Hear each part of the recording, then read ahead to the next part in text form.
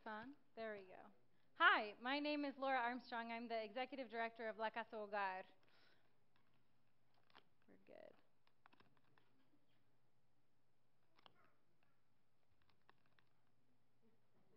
Wait for it.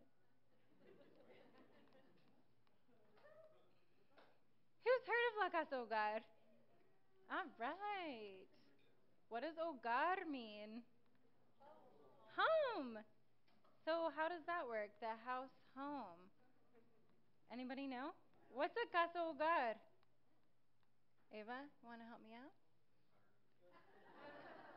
casa hogar in Mexico is actually um, a word for a place where orphans go. And we are not an orphanage. We don't have beds. We people don't live at La Casa Hogar. But um, in many ways, I think we, we serve a same feeling of seeking belonging and family as orphanages do. Let me think of some more trivia. The giraffe in Spanish is. Elephant is. Right. And hippopotamus is. Nice. Every day, hundreds of families at La Casa Hogar are strengthened, educated, and connected. Some through the Early Learning Center and Parent Education, where they learn about STEM science, technology, engineering, and math. Others connect through women's leadership and English classes. Or they take pre GED classes to prepare for their GED. Health and nutrition, driver's education, and computer literacy are also options. We cook together too. So far, I've learned how to make a mean guacamole salsa, tortillas from scratch, pozole, a corn based spicy chili stew, and even mole from Doña Celsa from Oaxaca. My family at La Casa Hogar includes our staff, our students, our volunteers, our donors, our advocates. In the citizenship program, we learned together about U.S. history and civics. Some of us, who were born U.S. citizens, put our own knowledge to the test about U.S. history, civics. Maybe you're going to do this too as you see questions and answers scroll through on the slides behind me. I learn and rediscover constantly how many privileges I have because I was born a U.S. citizen. With my family at La Casa Hogar, I celebrate culture and differences and languages and traditions. But moreover, through our differences, I see our similarities. I see our moms who want success, health, education, and love for our babies. I see our young children sharing with each other, teasing one another, playing with one another, laughing with one another. I see hardworking parents who work full time jobs and then go to school after that. We all work together and help each other. Pretty good team. But that's what family is, right? a shared identity, a shared life. I actually like to say that families just do life together. My biological family lives far from me, some in Arizona, some in Washington, D.C., and some in Connecticut.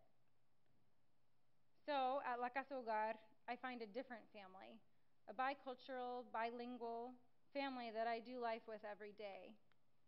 I advocate for my family members, and they advocate for me. I listen to my family members, and they listen to me. I disagree with my family members, and yes, they definitely disagree with me.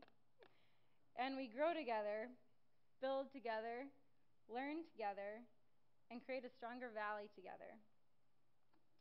We gather and walk, sometimes long distances from Granger to Yakima, like this May, in support of what we believe in in support of equity and access for all of our family members, not just some.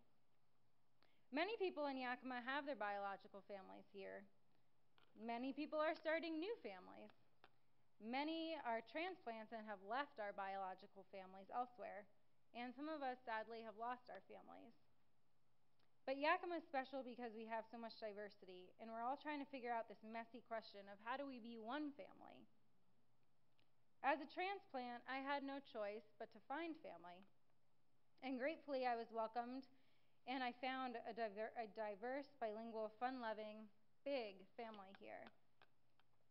La Casa's mission is to connect and educate Latina families to transform lives in our Yakima Valley. I'm convinced that this transformation will happen when we as a valley expand our definition of family. Right now in our country, and especially because it's election season, there is a lot of talk about the United States and who's in that U.S. family. In other words, who can be a U.S. citizen? Who can live here? And ultimately, who should belong here? I won't start shoulding on anybody, um, or, or who should or who shouldn't, but instead I will tell you who is currently allowed.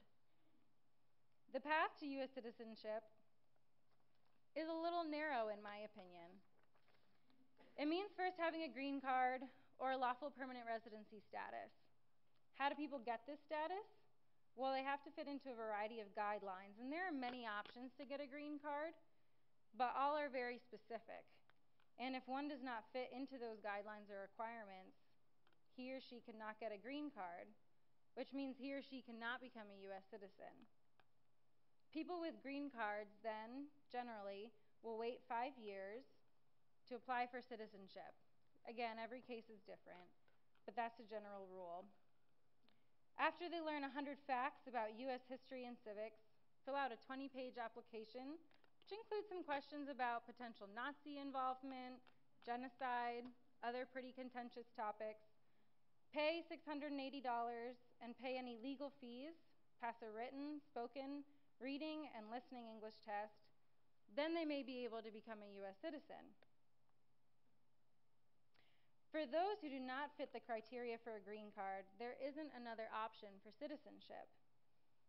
There is one more option, though, for work authorization. That's called DACA, Deferred Action for Childhood Arrivals. DACA. This allows young people who were brought by their parents to the U.S. to have legal authorization to work, but it's not a path to U.S. citizenship. Who knows the answer? Before reading it. So, how do I know all this information? People often ask me this because I was born a U.S. citizen. Well, my family members taught me. I was born a U.S. citizen, but some of my family in Yakima, they weren't. And they live these realities, and in a way, through them, I do too. Sometimes it's pretty tiring because these are tough situations with no real answers and no real solutions. But I have to say, I'd rather continue doing life with my multicultural, alive, warm family members, even when we're trying to solve messy problems together, than doing it without them. So, like I said, La Casa's mission is to connect and educate Latina families to transform lives in our Yakima Valley. I'm convinced that this transformation will happen when we expand our definition of family. Thanks.